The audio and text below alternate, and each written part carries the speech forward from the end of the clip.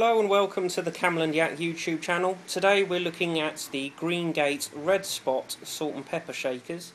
Uh, the tray itself that uh, the salt and pepper shakers come on is uh, 14.5 centimetres by 9 centimetres and each of the shakers is 5 centimetres by 5 centimetres by 8 centimetres tall.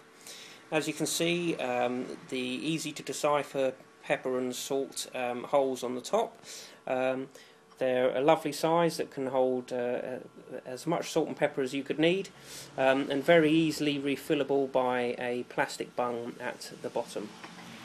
Please come to our um, website which is www.camelandyak.co.uk to see the rest of the Greengate products that we have on offer and see if you can see something else that you may like.